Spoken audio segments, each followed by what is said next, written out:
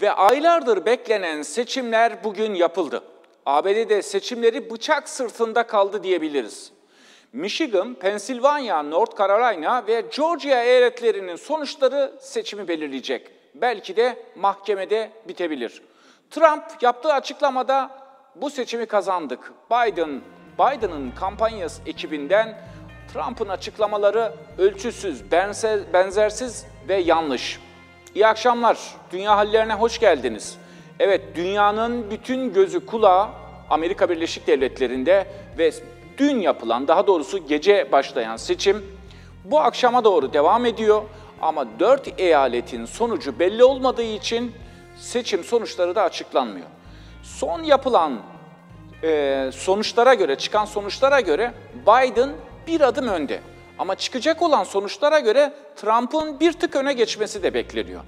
Bu akşam Amerika Birleşik Devletleri'nden Seattle'dan Kurt Gökhan Ölçer bize Amerika'daki seçimleri değerlendirecek.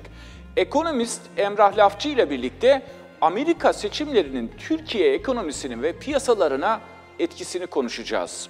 Evet, heyecanla beklenen seçimleri biz de takip ediyoruz. İsterseniz hemen manşetlerimize geçelim. Dünya hallerin manşetlerinde tabii ki birinci sırada bıçak sırtında olan Amerika Birleşik Devletleri seçimi var. Başkanlık seçimlerinde oy sayımı devam ederken Biden 238, Trump 213 temsilci kazanmış durumda. Michigan, Pennsylvania, North Carolina ve Georgia eyaletlerinden iki ya da üçünü alan aday seçimi kazanmış olacak. Ama yapılan e, her an değişmeye devam eden bu e, eyaletlerde şu anda belki de büyük bir de ihtimalle mahkemeye taşınma ihtimali var. Başkan Trump'ın posta ile kullanma konusundaki tavrını biliyorsunuz. Mahkemeye gitme ihtimali sabah yapmış olduğu açıklamada da gün ışığına çıkmış durumda. Evet, bütün gözümüz, kulağımız Amerika Birleşik Devletleri'ndeki seçimlerin sonuçları nasıl olacak, kim kazanacak? Birazdan bunu da konuğumuzla birlikte Kurt Gökhan Ölçer'le değerlendirmiş olacağız. Amerika'daki seçimlerin Almanya'dan bir yansıması var. Almanya Hristiyan Demokrat Parti üyesi Karen Bauer, Alman ZDF televizyonuna verdiği demeçle yaşanan belirsizliğin endişe verici olduğunu ifade ederek meşruiyet savaşı başlamış görünüyor. Bu son derece patlamaya hazır bir durum yaratıyor. Uzmanlar ABD'de anayasal bir kriz yaşanabilir uyarısı yapıyor ki bu genel anlamda hep hepimizi kesinlikle endişelendirmesi gereken bir konudur diye söylemiş. Geçelim gündemin diğer konularına. Japonya Merkez Bankası Başkanı e, Koro, Başkanı Kuroda yapmış olduğu açıklamada bankanın kurların istatistik istikrarlı şekilde hareket etmeleri için finansal otoriteler ile yakın çalışma içinde olacağını söyledi. Kuroda, Japonya'nın ihracatını ve deniz aşırı yatırımlarının arttırılmasına yardım ettiğini belirterek kur hareketlerini istikrarlı tutmak olağanüstü önemli değerlendirmesini bulundu. Değerlendirmesinde bulundu. Geçelim diğer bir manşetimize. Dünyadan yine piyasaların gözü şu anda Fed'de. Fed açıklayacağı faiz kararı ile ilgili bu hafta piyasaların odak noktasına yerleşti. Bankanın faizlerde ve varlık alımlarında herhangi bir değişiklik yapmayacağı öngörülürken e, sözle yönlendirmeler olabileceği tartışılıyor. Bir taraftan sözle yönlendirmenin daha da güçlendirilebileceği tahmin edilirken, diğer taraftan bankanın sözle yönlendirmede uzun vadeli maksimum istihdam ve %2 oranında enflasyon sağlanması konuları tekrarlanacağı söyleniyor. Fed Eylül ayı toplantısında politika faizini değiştirmeyecek %0 ile 0.25 bandı aralığında sabit tutmuştu. FED Eylül toplantısında 2023 yılına kadar faiz oranlarını değişikliğe gitmeyeceğini açıklamıştı. Evet, ihracat rakamları açıklandı ama ihracattaki değer düşümü söz konusu. İhracatta artışa rağmen değer kaybı devam ediyor. Türkiye ihracat rakamları son 5 yılda değer olarak %20 civarında yükseldi. Ancak birim başı değer 2019 sonu itibariyle %15 düştü. Son 5 yılda birim değer 1.44 dolardan 1.23 dolara gerilerken ihracat 2015'e göre %20'ye yakın artmıştı. 143.7 milyar dolardan 180.5 milyar dolara yükseldi. HSBC'den bir açıklama var. HSBC grubun İstanbul dünya ekonomisindeki yerini yükseleceğini açıkladı. HSBC şehir raporlarına göre İstanbul güçlü yanları, büyük ölçekli altyapı yatırımları, daha katma değerli, daha yenilikçi ve daha yaratıcı ve bir ekonomi olduğunu açıklamış durumda. Geçelim diğer manşetimize. BDDK'dan e, bir açıklama var daha doğrusu. E, Bilgi Teknolojileri ve İletişim Kurumu BDK, Türkiye'de temsilcilik açma zorunluluğuna uymayan Facebook, Instagram, Twitter, Periscope, YouTube ve TikTok'a onar milyon lira ceza kesti. 30 gün içerisinde yükümlülüklerini yerine getirmemeleri durumunda 30 milyon lira idari para cezasına çarptıracaklarını açıkladı. Evet, manşetlerimiz böyle. Manşetlerimizden hemen sonra konuklarımıza döneceğiz. Ama isterseniz bir Amerika haritasını bir görelim. Bakalım tartışmalı olan e, eyaletler neresi? Onları ekrandan arkadaşlarım aktarabilirlerse. Evet, aslında e, Türkiye'ye çok benziyor. Kıyılar demokrat, mavi.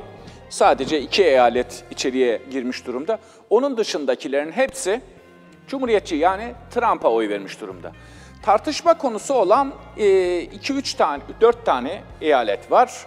Pennsylvania, North Carolina, Georgia bunlar çok ciddi tartışma konusu. Michigan çok küçük burun farkıyla birlikte şu anda Biden'a geçmiş durumda. Hemen e, Wisconsin'a da geçelim. Orada da çok küçük bir farkla Biden kazanmış durumda. Wisconsin çok önemli çünkü 10 tane temsilci var. Pensilvanya en önemlilerinden bir tanesi.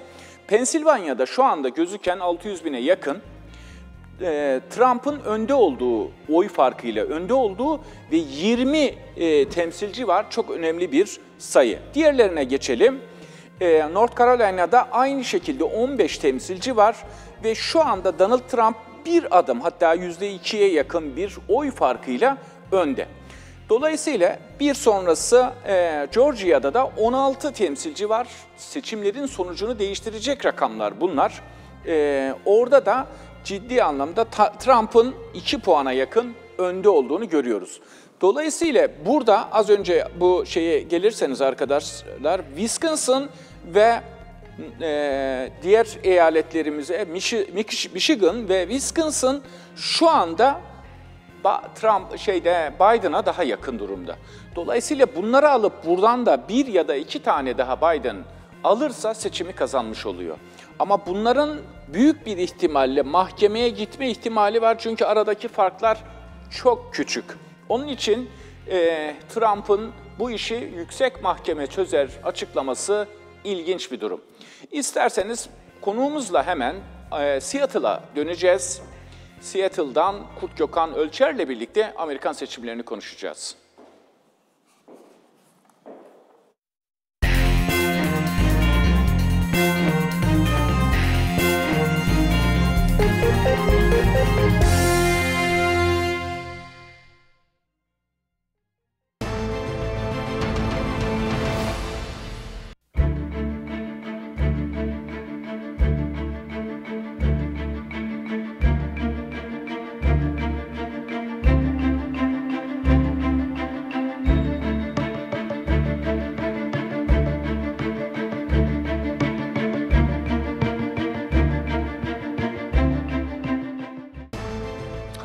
Evet, heyecanla beklenen seçimler yapıldı ve heyecan bitmedi. Öylesine bir heyecan ki iki ya da üç tane eyaleti kim alırsa başkanlık seçimini de almış olacak. İki ya da üç tane eyaleti alanlar da binlerce sayılabilecek oylar bir e, öne geçmiş durumda. Dolayısıyla iş çok ciddi. Başkan Donald Trump sabah yapmış olduğu açıklamada seçim zaferini ilan etti. Ama Biden tarafından tepki geldi. Bakalım gerçekten öyle mi olacak yoksa iş mahkemeye, mahkemeye gidecek mi? Orada mı sonuçlanacak? Kurt Gökhan Ölçer Seattle'dan bizimle birlikte. Merhaba, hoş geldiniz yayınımıza. Hoş bulduk Ali Bey. İyi yayınlar diliyorum. Biz burada tabii çok heyecanlanıyoruz. Bütün dünya bekliyor. Nedir oradaki durum? Yani kim, e, sokaklar nasıl öncelikle, heyecan nasıl, bir tedirginlik var mı? Günler öncesinden sokaklarda önlemler alındığını haberini aldık, dükkanların kapatıldığını biliyoruz. Evet, evet bu önlemler alındı, dükkanlar kapatıldı. Belli gösteriler oldu akşam saatlerinde, gece saatlerinde. Ancak özellikle şu aşamada belirsizlik var. E, net net e, netlik kazanmadı kimin kazan kazanacağı. Şunu birazdan ona da değineceğim. E, o yüzden benim takip Tansiyon yüksek kadarıyla, mi e, Gökhan Bey? Tansiyon yani o, o kadar yüksek olduğunu söyleyemem. Şu anda herkes beklemede. Yani bir e, taşkınlık veya e, şiddet olayına e, dair ben hiçbir e, bilgi veya haber almadım. Yani beklemede herkes. kampta e, iki e, adayın da e, gönül veren herkes, demokratlar da, cumhuriyetçiler de sonuçları bekliyorlar şu anda diyebiliriz. Peki şu anda görüntü nedir? Ee, birkaç evet. eyalet çok kritik durumda. Kim daha başkanlığa yakın? Evet şimdi farklı patikalara bakabiliriz. Sizin e, bahsettiğiniz eyaletlerden e, ben bir iki tane daha eklemek istiyorum. Şimdi e, siz Georgia'dan bahsettiniz, North Carolina'dan bahsettiniz, Pennsylvania'dan bahsettiniz, Michigan ve Wisconsin. E, bu beşi şu anda masada hala. E, buna ben bir de Nevada'yı ekleyeyim. Nevada'da da kesin e, sonuçlar verilmedi. E, bir de buna e, Alaska'yı ekleyebiliriz. E, şimdi Nevada'nın 6 temsilci oyu var. Alaska'nın 3, e, Wisconsin'ın 10, Michigan'ın 16, Pennsylvania'nın 20, North Carolina'nın 15 ve Georgia'nın da 16. 16. Yani böyle bir haritadan bahsediyoruz ve şu andaki son durumda Biden kampında yani garanti olan şu anda kesinleşmiş olan oylara baktığınız zaman Biden kampında 238 temsilci oyu var. Trump kampında 213 tane var. Biliyorsunuz Arkadaşlar e, sayfayı yenilerseniz rakamda değişmiş olacak. 224 gözüküyor Biden hala. Evet. Evet. Iki, aslında e, yani şu anda hani tabi bunların hiçbiri kesinleşmiş sonuçlar değil henüz. Tahminler ama yani artık dönmeyecek anlamına gelen e, şekilde baktığımız zaman artık şu şu noktadan itibaren e, bu kalan sayılacak oylar veya e, kalan yüzdelere baktığınız zaman dönmeyecek olarak baktığınız eyaletlere baktığınız zaman dediğim gibi e, Biden 238 görünüyor. E, Trump 213 görünüyor. Şimdi bu matematikte 270'e ulaşması için Biden'ın e, bir 32 oy daha alması lazım temsilci oyu. Pensilvanya, ee, ama... tek tek gidelim e, Gökhan evet. Bey. Pensilvanya'da mevcut durum açık ara Trump'ın önde geçtiğini görüyoruz. Hatta 600 bine yakın bir oy farkı var. Tamam açılması gereken ciddi sayıda sandık var. Ama orada beklenilen postayla kullanılan oylar mı? Evet, kesinlikle. Şimdi aslında o çok önemli bir nokta. 600 bine yakın evet bir fark var Pensilvanya'da ama henüz açılmamış da 1,5 milyon oy var. Ve bu 1,5 milyon oyun da pek çoğu postayla gelen oylar ve bunların e, şu ana kadar gördüğümüz e, pek çoğu Biden tarafında. Yani bu 1,5 milyon oy bu aradaki 600 bin oyu kapatabilir mi? Kapatabilir. Bu mümkün. Kapatmayabilir. Orası yani tamamen bir e, iki tarafa da gidebilecek bir noktada şu anda. İkincisine ama geçelim. Pensilvanya, Pennsylvania için şunu söyleyeyim bir de ama Pennsylvania bu konuda temkinli davranıyor, yavaş davranıyor. Yani bugün veya ben yarın oradan kesin bir sonuç çıkmasını beklemiyorum. En erken Cuma gününden önce bir kesin e, Pensilvanya'dan bir biz hani... Cuma'ya kadar sonuç beklemeyelim. İnelim aşağıya doğru. North Carolina'ya bakalım. Orada durum nedir? North Carolina'da da e, kesin yine e, bir şey söyleyemiyoruz ama orada Trump önde. Yani evet. Trump'ın kazanması oradaki e, temsilci oylarını daha yüksek bir ihtimal olarak gözüküyor. Georgia? Aynı şeyi Georgia için de söyleyebiliriz. Georgia'da da Trump önde. Evet, Peki, Trump önde. tartışmalı ee, olan diğer kısma geçelim. Yukarıya çıkalım arkadaşlar. Pensilvanya'nın dışında Michigan 16 e, temsilci var. Önemli bir dengeleri değiştirecek evet. olan bir şey. Orada 49.3 Trump, pardon Biden, 49.1 e, şu anda Trump gözüküyor. Yani bıçak evet. sırtında olan ve 16 tane de temsilci olduğu için sonuçları ciddi anlamda etkileyecek olan. Evet. Ama orada şunu söyleyeyim. E, Milwaukee'de Biden daha avantajlı gözüküyor. Hani kesin yine konuşmak istemiyorum ama bu arada küçük bir fark var şu anda ama açılmayan oylar daha çok e, Milwaukee bölgesinden, Wayne County'den ve oyların buradan gelecek oyların çok pek çoğununda e, ağırlıkla Biden'a gitmesi bekleniyor. Yani bu makasın açılması biraz daha açılması kapanmasından daha büyük bir ihtimal gözüküyor Michigan'da. Peki burada şu anda sizin gördüğünüz, Kurt Gökhan Bey, sizin gördüğünüz hangi eyaletler, e, tabii ki Alaska 3 temsilcisi var, oranın çok ciddi etkisi olmayacağını düşünüyoruz ama hani burun buruna gelip Alaska'ya alan kişi de bir temsilciyle ya da iki temsilciyle seçimi alabilecek duruma da gelebilecek. Hangi eyaletleri alan bu seçimi alacak? İki aday içinde isterseniz tek tek Tabii. patikalarına bakalım. Nasıl kazanabilirler? Şimdi Biden cephesinde önde gittiği üç eyalet yani Nevada ki Nevada bugün açıklama yaptı. Yarın öğlen kesinleşecek onların toplam sonuçları. Şu anda Nevada'nın durumuna da Biden bakalım. 49.3 e, Biden önde, Trump 48.7. Orada da bir bıçak evet. sırtı var.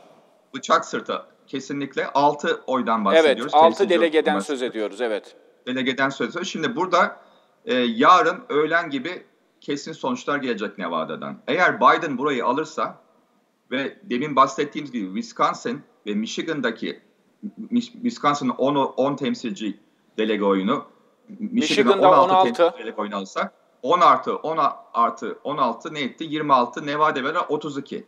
Zaten şu anda 238'de 270'e çıkıyor. Yani bu üçünü aldığı zaman... Ama bu 238 Nevada'nın içerisinde, Nevada 238'in içinde şu anda gözüküyor gibi. Yok hayır gözükmüyor. Gözükmüyor. Hmm. Yani e, şu anda yani aslında dediğim gibi eğer e, Nevada'yı, Wisconsin ve Michigan'ı alırsa Trump 270'e ulaşıyor. Biden alırsa. Yani orada evet. Biden alırsa. Yani, e, Biden alırsa. Evet. Evet. Biden alırsa 270'e ulaşıyor. Yani aslında Biden'ın e, patikası başkanlığı gayet net. Bu üç şu anda önde olduğu eyaleti aldığı zaman Pennsylvania'da ne olduğuna bakılmadan, North Carolina'da ne olduğuna bakılmadan veya Georgia'da ne olduğuna bakılmadan başkanlığını ilan edebilir. Trump. Şimdi Trump cephesine bakarsak Trump'ın mutlaka yani aslında o 3 oy Alaska'da önemli. Onu alacağını düşünelim. Orada gayet iyi gidiyor çünkü. Ee, Georgia'da avantajlı gözüküyor. North Carolina'da avantajlı gözüküyor. Bu üçünü de alması lazım. Bunun üzerine bir de Pensilvanya'yı alması gerekiyor. lazım. Ee, Pensilvanya'yı da alması da yetmiyor. Bu bahsettiğimiz kalan 3 eyaletten Michigan'dan, Wisconsin veya, veya Nevada'dan ki bu da en şanslı olduğu yer Nevada gözüküyor bence. Yani Michigan'da, Wisconsin'da biraz işi zor artık şu andaki son rakamlara göre.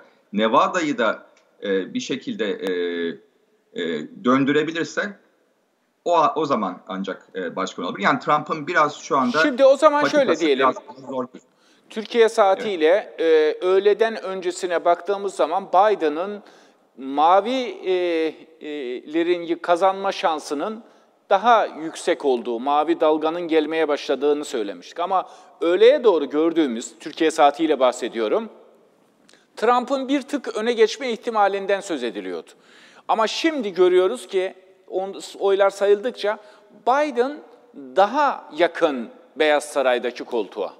Ne dersiniz? Evet aslında sizin haritanızda orada belki farklı olan e, şey e, fark fark benim gördüğüm fark e, en büyük fark Arizona. Yani Arizona'yı da e, Biden biraz da sürprizle alacak gibi gözüküyor. Yani kesin orada da bir şey söyleyemiyoruz ama ama şu anda İbre... e, şu anda e, 90 e, bine yakın bir oy farkı var. %51 Joe Biden.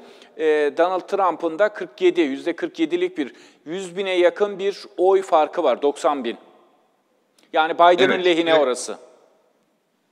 Biden'ın yerine ve Arizona'yı alacak. Bu aslında bir e, Biden lehine bir sürpriz oldu diyebiliriz. E, yani genelde çünkü Arizona e, Cumhuriyetçilere daha geçmişte daha yakın olan bir eyaletti. Son yıllarda dönmeye başladı. E, bundan sonra gelecek oylar da yine posta oyları olduğu için ve posta oylarının dediğim gibi çoğunlukla e, Biden lehine geldiğini görüyoruz şu noktaya kadar. Arizona'daki fark da biraz daha açılacaktır ve Biden Arizona'yı alacaktır. Yani gecenin e, sürprizlerinden bir tanesi bu oldu. İkinci bir e, konu e, Florida tabii. Florida çok çok e, bıçak sırtında gidiyordu. Orayı Trump aldı ve e, garantiledi. O Trump için de onun adına büyük bir zafer ve e, hanesine yazılmış oldu. Yani bu iki, iki eyalet aslında gecenin e, sürprizleri. Texas bir de Texas'tan bahsetmek lazım. Texas'ın evet. 38 oy var. E, ki geçmişte e, Cumhuriyetçilerin kalesi olarak görülen bir eyalettir. Orada Trump, Trump Biden'ın çok ciddi bir oy aldığını görüyoruz Texas'ta. Evet, evet yani Texas'ta daha katı Texas'ta Cumhuriyetçi muhafazakar kesimin olduğu yer orası. Hatta evet, yıllarca evet. E, Cumhuriyetçilerin kalesiydi. Evet dediğiniz doğru. Evet yani ve ve bunun Texas'ın artık yavaş yavaş bir e, salınacak eyalet konumuna geldiğini gördük bu seçimde. Bu da dün akşamın biraz daha sürpriz olan e, acaba Texas döner mi sorusunu insanların kafasına getiren bir gece oldu. Ama günün sonunda yine e, Cumhuriyetçiler ve e, e, Trump e, Texas'ı bu, bu sefer de e, kazanmayı başardılar. Peki, ee, şimdi, şimdi yani şöyle söyleyelim. Şimdi buradan sizin analizinize göre biz de gördüğümüz kadarıyla Biden bir adım olmasa bile adıma yakın bir şekilde öne geçmiş durumda. Türk, evet. Türkçe tabirle söylersek burun farkıyla önde. Finish, foto finish artık e, mahkemede biter mi? Şimdi bu kesinlikle, sonuca göre kesinlikle. mutlaka her iki tarafta kim kaybederse mahkemeye gideceğini görmeye başladık. Ki Trump o, o, sabahleyin ona, ona kesin, evet. Trump sabahleyin ona zaten açıklamasında oylarımızı çalıyorlar diye de açıklama yaptı. Tweet attı daha doğrusu. Ne diyorsunuz? Mahkemeye taşınma şansı ihtimali herhalde yüksek. Çok yüksek, çok yüksek. Zaten şunu da söyleyebilirim. Pennsylvania'da şu anda zaten Cumhuriyetçi Parti'nin avukatları mahkemeye başvurdular bile. Yani o süreç aslında başladı bile şu anda. E, çünkü Pennsylvania'da e, süreden daha sonra yani e, dünkü seçim saatinin bitmesinden daha sonra oyların geldiğini ve bunların sayıldığını iddia ediyor Cumhuriyetçiler. Bu e, iddiayla mahkemede dava açtılar bu sabah itibariyle. Tabi bu bir başlangıç. E, benim görüşüm özellikle burun buruna olan Wisconsin gibi, Michigan gibi e, eyaletlerde, Georgia olsun, North Carolina olsun, kim kazanırsa kazansın, burada yani en son e, analizde kim önde çıkarsa çıksın, diğer taraf itiraz edecek ve mahkemeye gidecek. Tabii bu, bu, bu da e, belli bir süre alacak e, Peki, bunların. Şöyle devam edelim, mahkemeden devam edelim. Mahkemeye önce e, yerel olarak baş, başvuruluyor değil mi? Yani eyalet Elbette. mahkemesine gidiyor. Sonra orada çözülmez evet. ise yüksek mahkemeye mi gidiyor? Ya gidebilir, gidebilir. E, konunun ne olduğuna bağlı ama şimdi yüksek mahkeme daha çok hani genel prosedürel hatalar veya hani kanun dışı, önemli anay anayasal kanun dışı konulara bakar. Yani orada e, tekrar sayılma olsun e, veya e, yapılan bir hata olsun. O konular yüksek mahkemeyi ilgilendiren konular değil. Ama burada e, Donald Trump ve ekibinin iddialarından bir tanesi, attığı tweetin belki de sebeplerinden bir tanesi o yasal anlamda olmaması gereken veya kabul edilmemesi gereken oyların kabul edildiğini ve e, seçim tarihinden sonra e, bazı oyların yani seçim e, saati diyeyim daha doğrusu tarih diyeyim saatinden sonra bazı oyların e, kabul edildiğini iddia ediyor. Tabii bu bunun e, bir şekilde e, yüksek mahkemede görülmesi mümkün. Ha şunu da söyleyebiliriz. Yüksek Mahkeme tabii ki siz de yayınlarınızda daha önce belirtmiştiniz. E, bu dönemde yani Trump döneminde, Trump'ın başkan döneminde e, üç tane yargıç e, birden değişti. E, tamamen e, daha en çok... En sonda Amy e, Coney Barrett diye bir muhafazakar hem de koyu bir muhafazakar genç bir hukukçu evet. oraya atanmış oldu. Orada da Cumhuriyetçilerin sayısı ön, e, öne çıktı. Daha doğrusu çoğunluğu elde ettiler. Hani bunları biz Türkiye'de hep söylenir, denir ki e, hukukçuların şu görüşten bu görüşten olduğu önemli değil. Ama Amerika'da Cumhuriyetçiler öne geçti. Dolayısıyla Cumhuriyetçilerin lehine karar verebilir diye açıklama yapıyoruz. Artık onu da görüyoruz Amerika'da. Ya bir, bir, şimdi bu konuda aslında göreceğiz. Yani ben öyle olmasını istemem. Yani mutlaka bu da gerçekler konusu. Yani hepimizin istediği. Ben benim yani bu sabah Cumhuriyetçi arkadaşlarımla da politikacılarla da görüştük, e, e, demokrat arkadaşlarla. Herkesin ortak görüşü e, Amerika'nın sesi dinlensin. Yani oy kullanılması e, hakkı olan her vatandaşın, anayasal hakkı olan her vatandaşın oyu sayılsın e, ve e, kurallar uygulansın. kim kazanıyorsa da hepimiz saygı gösterelim. Yani aslında genel görüş bu. Eğer burada tabii ki bir e, kanuna aykırı bir e, davranış olduysa Mahkemeye veya bazı gitmesi eyaletlerde- durumunda genel kanaat nedir Kurt Bey? Hani genel kanaat Trump mahkemeye gideceğiz, mahkemeye gideceğiz deyince insanlar şöyle söylüyor. Mahkemeye gidince bunu Trump alır. Ben ona o kadar e, katılmıyorum. Yani dediğim gibi oradaki olay yani mahkemenin bakacağı şey yani e, bu bir şey değil sonuçta. Hani bir sizin dediğiniz gibi her ne kadar e, şimdi sosyal konularda yani özellikle bu yüksek mahkemeye baktığınız zaman hani bu partizanlık daha çok sosyal konularda öne çıkıyor. Yani mesela eşcinsel evliliği olsun, e, onun dışında e, e, Toplumsal din, din olaylarda. hakları, özgürlükleri. Ee, Evet. Bu tip konularda daha çok hani muhafazakar yani daha çok hani e, subjektif olan, e, görüşü açık olan konularda daha çok muhafazakarlık var. Ama bu konu öyle bir konu değil. Bu konuda kanıt konuşacak. Yani sonuçta bu oylamada bu yapıldı mı, edildi mi, e, bunun kanıtı nedir? E, gerekirse tekrar sayım yapılır. Yani o yüzden hani ben burada çok fazla bir manevra alanı olduğunu Görmüyorum veya diyorsunuz. e, partizan Yine bir böyle e, herhalde- karar verilme Tarih bu tarihte 1948 ile kıyaslıyorlar. 40 1948'de Truman'la Devery arasında bir seçim oluyor. Hatta Truman taraftarları yerel gazetelere ya da e, genel gazetelere şeyi söylüyorlar. Hadi Truman'ın zaferini ilan edin ve ilan ediyorlar gazeteler. Sonra yapılan sonuç- sonuçlarda Truman kaybediyor seçimi.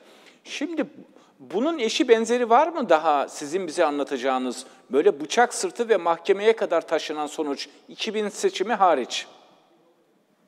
E, tabii yani aslında en yakın yani bu şekilde bu kadar e, yani özellikle yakın dönemde veya e, tarihte ben de hatırlamıyorum açıkçası.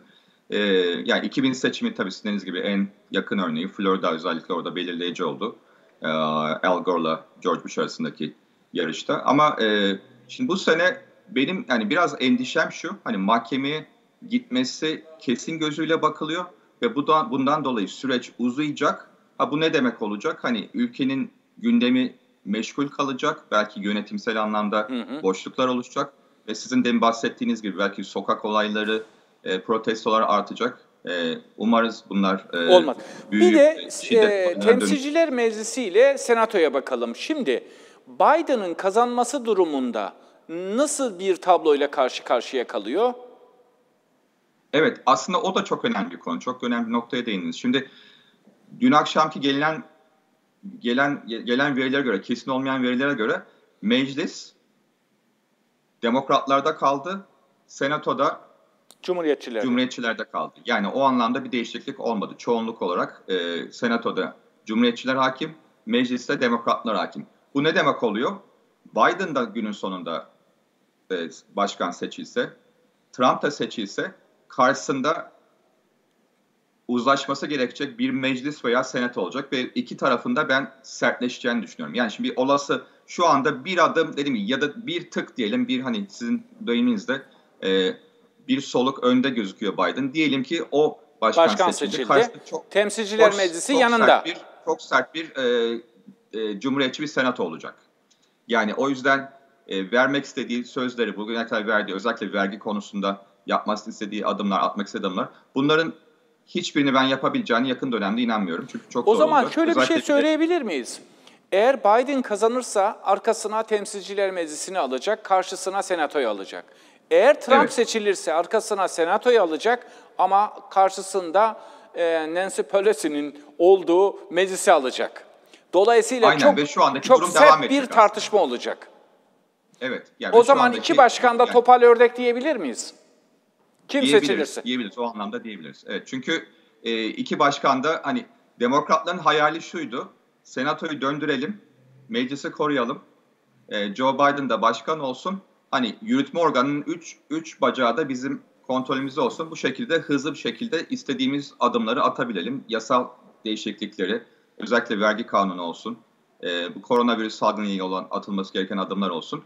Bunları hızlı bir şekilde yapalım. Bu şekilde bir e, veya Evet. bu şu, takip ettiğiniz sizin işte bu son e, anlaşmazlığa giren e, yeni e, paket, e, ekonomik e, destek paketi.